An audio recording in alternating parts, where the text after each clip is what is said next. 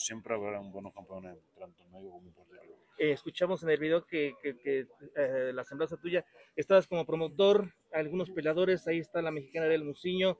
¿Qué, ¿Qué, planes tienes con ella y, y con otros boxeadores de, de tu región? No, mira, eh, con Arely, pues, pues Arely es una gran peleadora, eh, muy educada, muy, muy disciplinada en su trabajo y, y seguiremos trabajando de lleno con ella. Como mencioné ya, el próximo en octubre creo que tendrá su nueva oportunidad titular y seguiremos trabajando a la mano con ella. ¿Extrañas el boxeo, este Cota? Para nada. ¿No? No. O sea, le, lo que le diste, lo diste en su momento Exactamente. y hoy vives tranquilo. Hoy vivo muy bien. Sí, Gracias. pero ¿Qué ¿qué representa para ti Canelo Álvarez?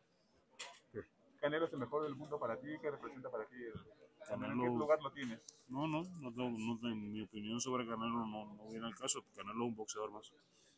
Miguel, bueno, en cuanto a tu experiencia, eh, me comentabas quién es favorito, Golovkin o Canelo para la tercera edición. No tengo favoritos. Entiendo que, que ambos van a trabajar eh, a capacidad para, para este combate y veremos un gran combate eh, Miguel, el próximo 17 de septiembre. Miguel, ¿y ¿cómo miras a Jonathan La Bomba González, un campeón de otro organismo, pero boxeando sólidamente? Perdón.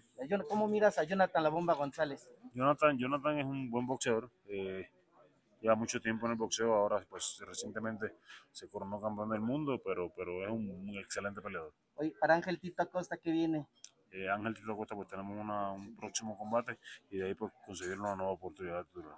¿En, en Estados Unidos o en Puerto Rico? ¿Dónde? Eh, preferiblemente en Estados Unidos.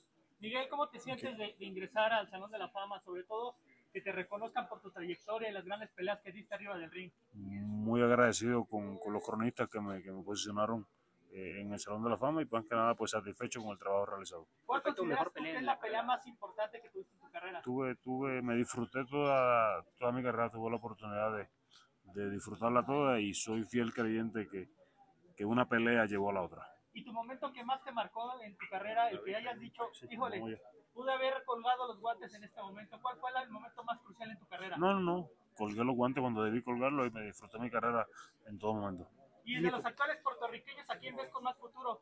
¿De los qué? De los actuales este, puertorriqueños, ¿a quiénes ves con más futuro? No, no, que tenemos a Jonathan como campeón, tenemos a Tito Acosta que viene por ahí, a Daniel Zorrilla, tenemos muy buen, muy, muy, muy buen talento en Puerto Rico. Gracias. ¿Ya estás suscrito a Boxeo de Knockout Informal? ¿No? ¿Qué esperas?